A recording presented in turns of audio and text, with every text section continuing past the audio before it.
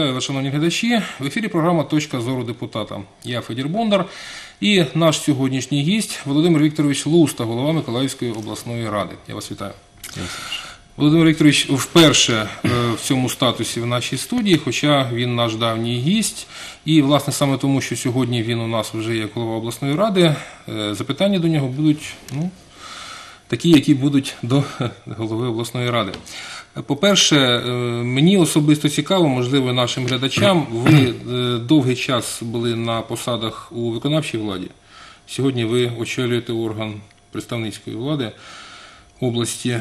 Е, Чи помітна різниця в роботі? Завдання, мабуть, ті ж самі? Ну, завдання абсолютно ті ж самі, тим більше, що ми принципово домовляємося і домовилися з виконавчою владою, з обласною державною адміністрацією, що нема поділу е, на питання, які е, сьогодні вирішує обласна державна адміністрація, окреме питання, яке буде вирішувати обласна рада. Е, Інша справа, що у нас з кожного свої підходи. А з іншої сторони, депутатом обласної ради я являюсь не перший і не другий раз, тому я знаю прекрасно і розумію задачі, які стоять перед обласною радою, депутатським корпусом, незважаючи на те, що ну, часу до закінчення каденції залишилося не так вже багато, практично півроку до виборів, які повинні відбути згідно Конституції в кінці жовтня місяця поточного року. Тим не менше, я думаю, що Е, Цей час, який залишився, е, обласна рада ну, достойно займе свою нішу, поверне, будемо говорити навіть її таким чином, з тим, щоб е, всі проблемні питання, яких, на жаль, сьогодні вистачає в області, вирішувалися е, в тому числі і за допомогою депутатського корпусу обласної ради. Це основна ваша ціль. Чи можете визначити кілька завдань своїх? Е, Ви знаєте, ми десь перед святами травневими, е, перед 9 травня, точніше кажучи, е, збиралися з головами постійних комісій профільними е, Миколаївської обласної ради. І ми визначились, подивились і визначились, поставили перед собою таку ціль. По-перше, ми доводимо до кінця всі питання, які стоять на контролі, з тим, щоб уже слідуючі депутати слідуючого скликання, які прийшли, розуміли і бачили, що депутати обласної ради минулого скликання, от програми, які стояли на контролі, які приймалися, питання, які проблемні були, оці вирішені питання, ці з тої чи іншої причини не вирішені, е, а ці вони не вирішені, але вирішуються і слідуючому депутатському корпусу пропонується вирішувати в тому чи іншому форматі. Зрозуміло, що далі буде це вже справа тих депутатів, які прийдуть у слідуюче скликання. І крім того, ми домовилися, що принаймні одне, а можливо навіть два таких ну, глобальних питання, які стоять сьогодні перед громадами Миколаївської області, в цілому перед громадою це і питання доріг, і питання функціонування того ж самого будемо говорити так, комунальних підприємств Миколаївської області, а окремо є питання сьогодні по фармації, є питання по міжнародному аеропорту Миколаїв, питання, е, які стосуються сільського господарства, екології. Ну, наприклад, е, знову ми стоїмо перед ризиками того, що в зв'язку з подорожанням електроносіїв, е, газу і під великим питанням стоїть сьогодні взагалі, що буде з нашими лісополосами і так далі, тому що ми проходили це вже в 90-х роках. Зразу після на дрова. Да, також, щоб е, це не пішло на дрова, ми сьогодні стоїмо перед тою проблемою, що законодавчо, на жаль, ми не можемо е, зразу все вирішити, але ми навіть говоримо про те з нашими колегами, що можливо десь ми е, тимчасово візьмемо якісь функції, які навіть сьогодні не притаманні нам, але для того, щоб про нас тоді не говорили, що була представницька влада, були депутати, обрані людьми, а вони нічого не зробили в цьому питанні. Цього року ми, ну, начебто, всі е, живемо в умовах децентралізації. Про це багато дуже говорилося на всіх рівнях держави. Е, Чи відчувається це на рівні обласної ради, на місцевих рівнях, чи відчуваються зміни місцевими бюджетами на кращі зміни, якщо є? Ну, е, якщо я почну, почну з того саме з бюджетів, коли приймалися е, бюджети місцеві всіх рівнів, було дуже багато скептиків щодо того, що е, той принцип, який закладений е, в бюджетування, він не спрацює і, можливо, буде гірше. Ми сьогодні вже маємо е, певні перші результати е, за і не тільки перший квартал, а вже і е, за 4 місяці. І сьогодні, до речі, відбулася в обласній адміністрації нарада, яку проводив е, голова обласної державної адміністрації щодо питань е, реформування, децентралізації, об'єднання.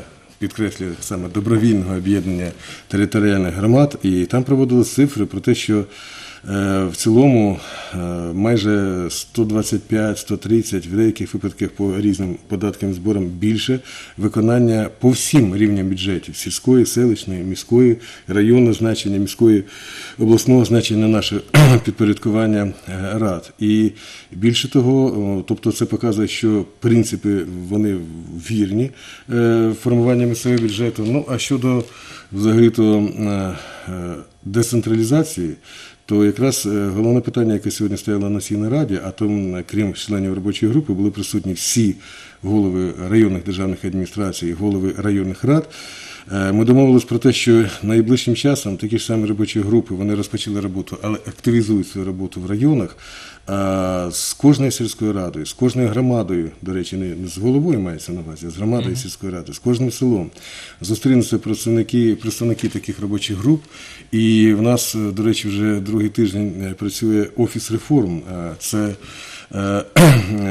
установа, яка сьогодні е, почала діяти в кожному регіоні, в кожній області, і фахівці цього офісу вони е, виконують дуже важливу функцію. Вони проводять дорадчу консультативну роботу, і крім того, вони зобов'язані сьогодні, перш за все, зробити таким чином, щоб е, показати саме позитивний імідж тих реформ, які пропонуються. Тому що е, найголовнішим питанням є не е, команда зверху, з Києва, тоді з Миколаєва до тієї чи іншої сільської ради або громади про об'єднання. А ми говоримо про те, що таке об'єднання повинно е, відбуватися от спочатку від людей.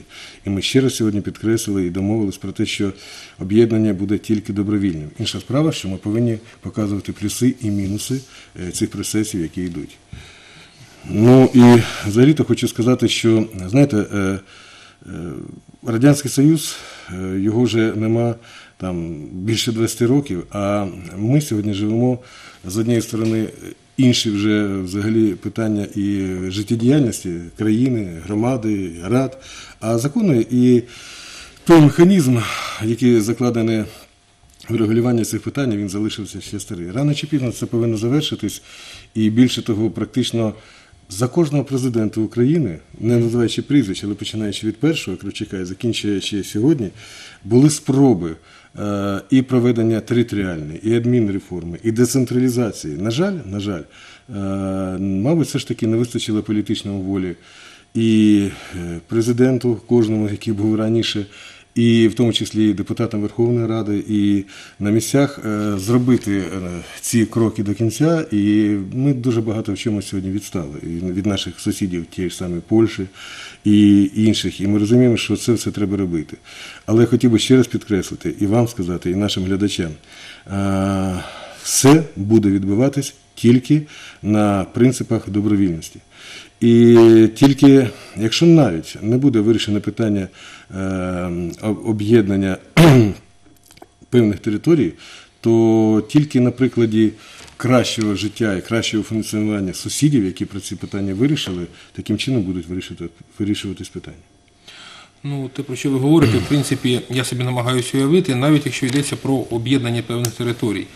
Е, З одного боку, це, мабуть, е, зменшить і е, необхідну кількість бюрократичного апарату державного. Але водночас ми вже сьогодні зустрічаємо такі ситуації, коли людині з одного району для вирішення певних питань необхідно їхати в якийсь центр, в центр кількох районів, і підприємці з цього приводу говорять. Що на відкриття певного виду бізнесу треба їхати до відділень фіскальної служби в інший районний центр. Е, Тут багато питань постає не тільки з тим, що людям треба рухатись, але й з тим, що, наприклад, дороги наші зараз жодної критики не витримують.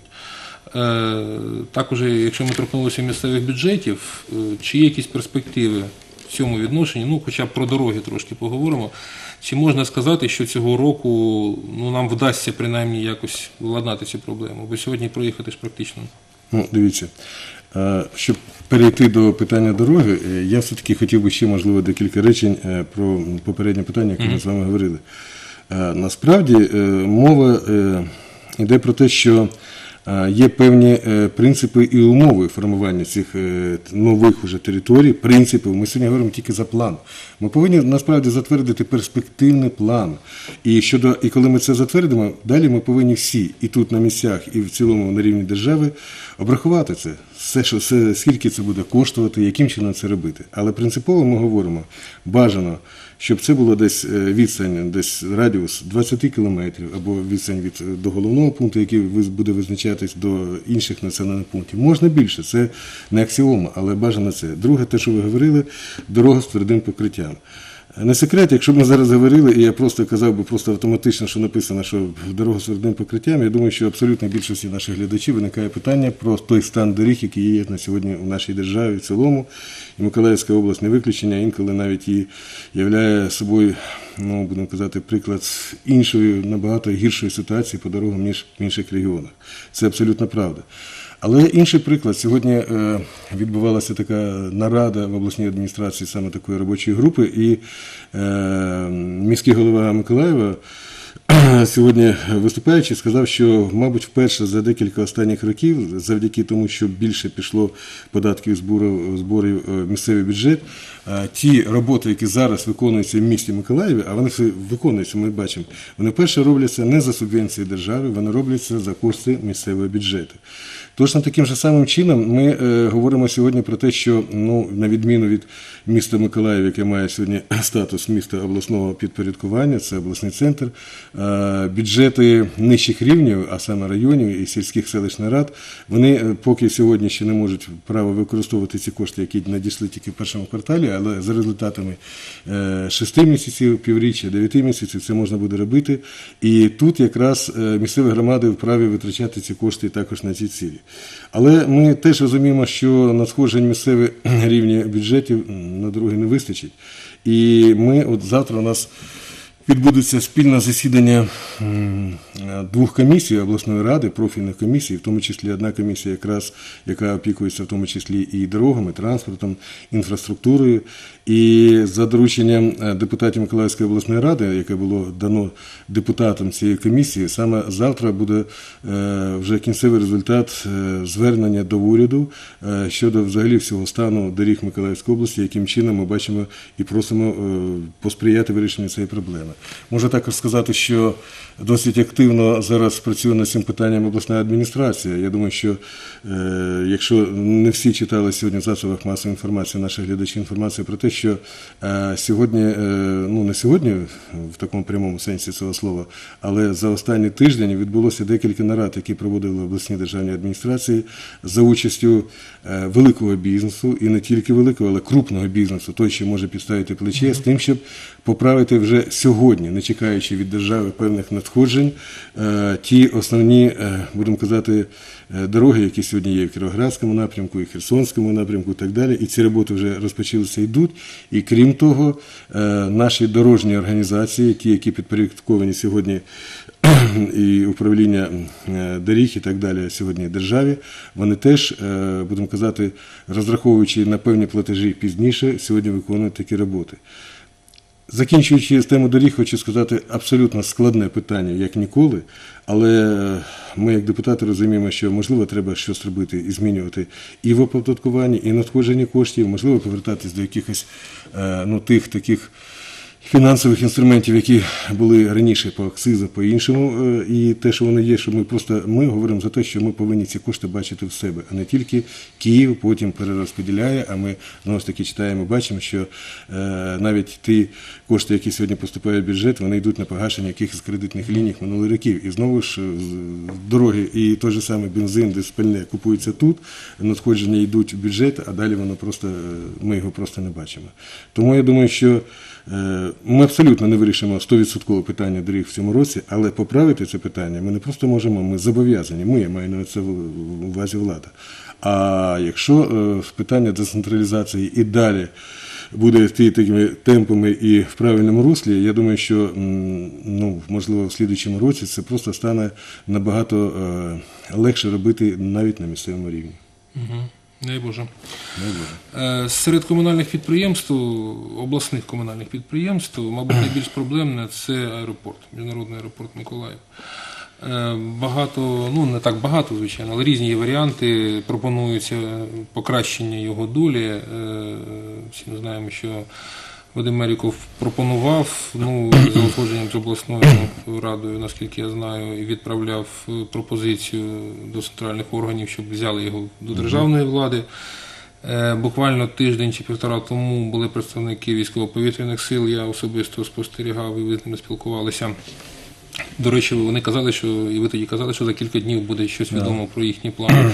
Чи можна щось сьогодні сказати, і як розвиватиметься? Я е, хочу дійсно підтвердити, що питання е, подальшого фінансування е, міжнародного аеропорту Миколаїв, таким чином називається саме підприємство, воно досить складне. До того, що ви сказали, можу додати, що трудовий колектив.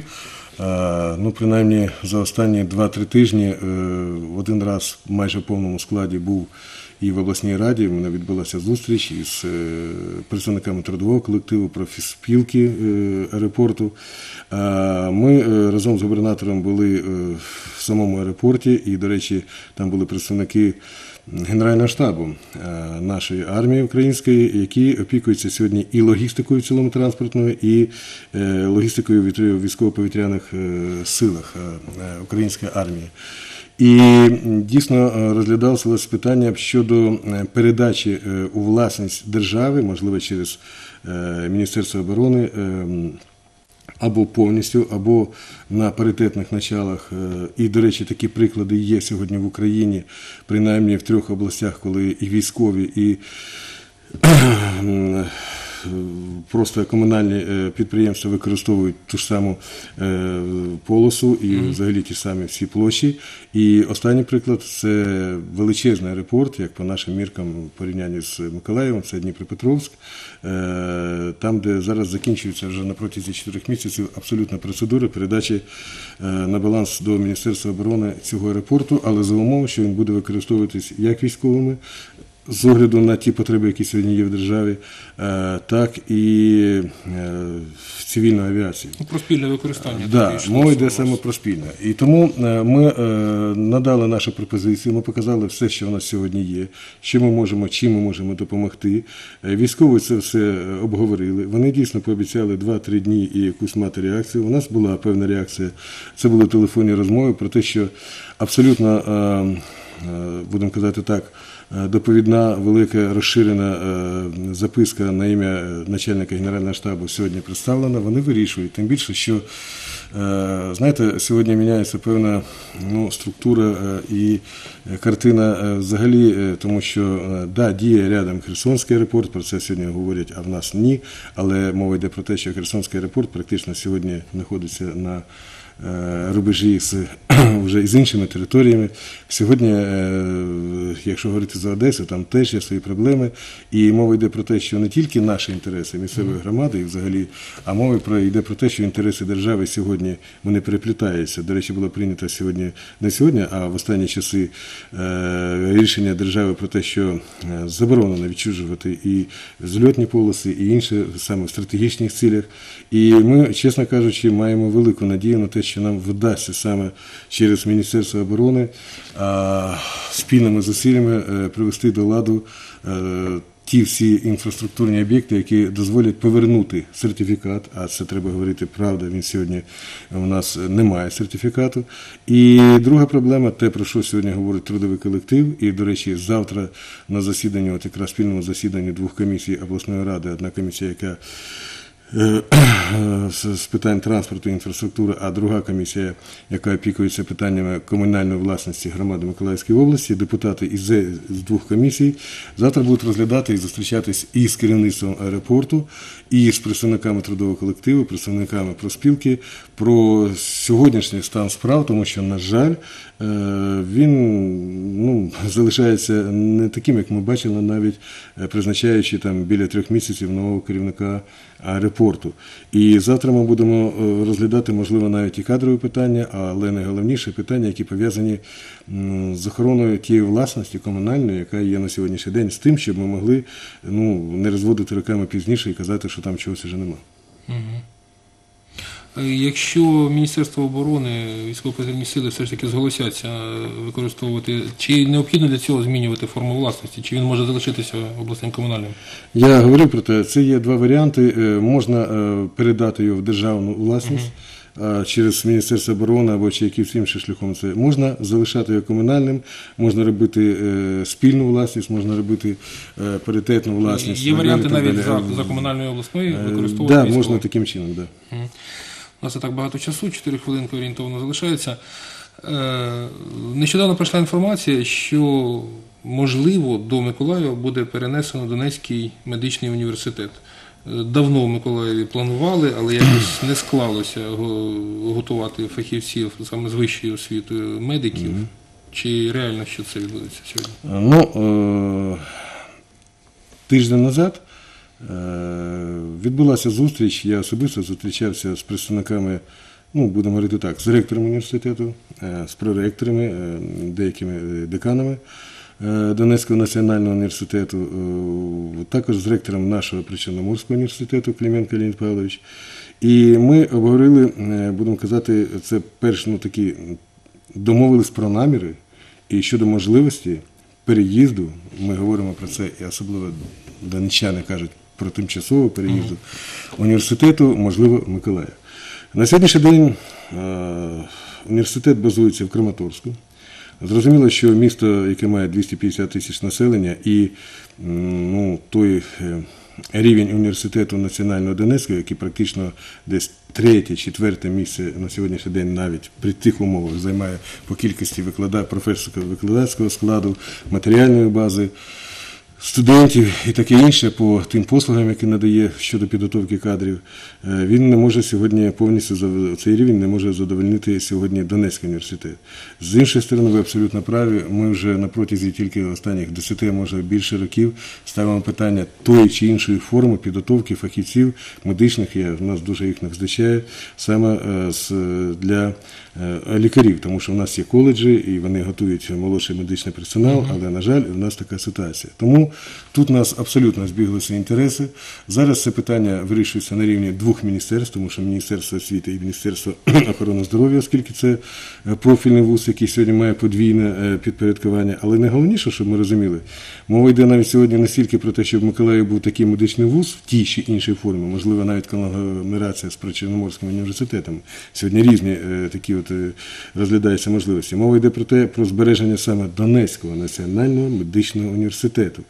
Я думаю, що ми тільки виграємо від того, якщо ми зможемо переконати, і в тому числі разом е, з фахівцями університету, і міністерство, і інші, і уряд, е, в тому, що це можна зробити. Так, треба чесно сказати, питання аудиторії, питання площ. Але з іншої сторони, вони дивились нашу медичну базу, і вони ми ж розуміємо, що університет медичний це не тільки навчання, але й практика. Їх влаштовують наші медичні установи, наші лікарні, обласні заклади і так далі.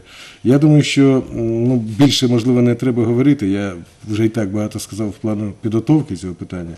Як буде вирішено, буде відомо найближчим часом, тому що мова йде про те, щоб е, університет продовжував набір уже в цьому поточному році студентів. І останнє, мабуть, запитання, дуже коротенько, хвилинки за півтори. Е, Серед е, можливостей місцевої влади, в принципі, наскільки пам'ятаю, завжди була е, можливість контролювати ціни на певні категорії товарів, найнеобхідніших соціальний хліб, в тому числі і так далі. На Миколаївщині він ну, практично завжди був дешевший, ніж в решті України, можливо, одним з найдешевших. Сьогодні ціни підскочили на все. Чи вдасться втримати ціни на хліб? Зразу хочу надалі? сказати, навіть при тому, що ціни абсолютно підскочили, в тому числі і на хлібобулочні вироби, на Миколаївщині, е, ну, від тої потенції, яка була, е, ціни на хліб вони все ж таки дешевші, ніж в багатьох регіонів. Особливо на е, хліб першого гатунку, тому що в нас взагалі-то жи- з житнього борошна хліб трошки завжди дорожчий, його просто менше сьогодні купують. А, на жаль, е, певні інновації, які сьогодні є, і в тому числі підходах і профільного міністерства МінАПК, і уряду, про те, що треба вирівнювати ціни, я сказав слово на жаль, тому що моя особиста позиція, держава не повинна відходити від регулювання, особливо в такий період, який ми зараз живемо, складний час, від регулювання цін на певні е, продукти е, харчування, в першу чергу, взагалі товари народного житку, і в тому числі хліби. Останнім часом вже навіть нема такого формулювання хліб соціальний. Ми говоримо про хліб масового вжитку, ми говоримо про хліб простої рецептури. Але мова йде про те, що певні категорії населення повинні бути захищені тут. Яким чином?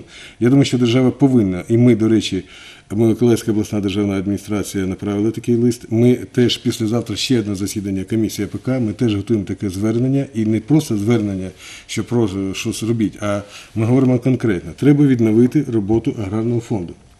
Аграрний фонд повинен робити інтервенції більше дешевої муки з тим, щоб ми надавали право тим організаціям, які будуть купувати таку муку, е, вони будуть її купувати дешевше. Це завжди так було в Україні, але тоді, відповідно, і на той відсоток дешевше буде ціна певної категорії хлібобулочних виробів.